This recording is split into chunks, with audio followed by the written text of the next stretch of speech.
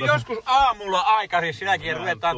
No vittu, tänäkin aamuna minä olin puoli kahdeksalta täältä. Miestä ei näkynyt vielä puoli yhdeksältä. Sitten soittaja puoli pääkaivuri käynti, No että se on vittu, lämmin, jos mä tuun perkele. Huomenna jos soitat, että tapas käynti No empaa. käyntiin Vitut, kaikki ovetkin avotta, se on helvetin kylmä sisään. Kato, näkyykö sulla tuota...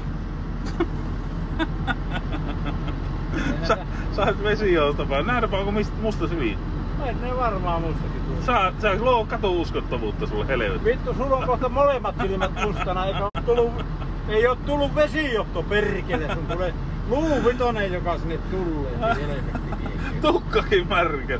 Vittu, tuu vetelleen tuonne saatana yksin noita putkeja. Mä soitan varamies palvelutta, olisiko siellä miehiä töihin perkele kaverisi tänne.